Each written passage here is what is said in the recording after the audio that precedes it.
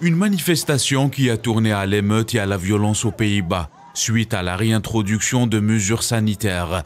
À Rotterdam, ville portuaire et deuxième plus grande ville des Pays-Bas, des émeutiers ont incendié des voitures et jeté des pierres sur la police dans le centre. Les forces de l'ordre ont riposté avec des tirs de sommation pour espérer disperser les mécontents des nouvelles mesures sanitaires. Les émeutes qui ont éclaté vendredi soir ont été animées par des hommes cagoulés, armés de bâtons.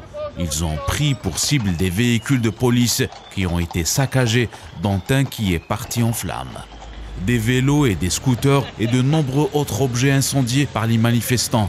Les images des émeutes à Rotterdam, abondamment reliées par les médias néerlandais, ont montré un centre-ville en proie aux affrontements entre émeutiers plus que jamais décidés à aller au bout de leur révolte et les forces de l'ordre.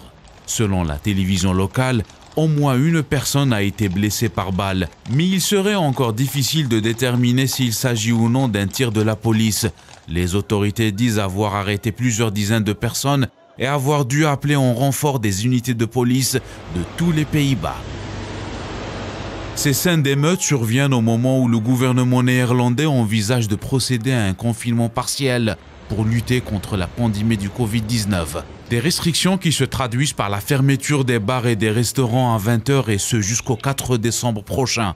Une situation chaotique maîtrisée un temps soit peu par la police néerlandaise, mais les nouvelles restrictions sanitaires risquent de faire bouger toute l'Europe.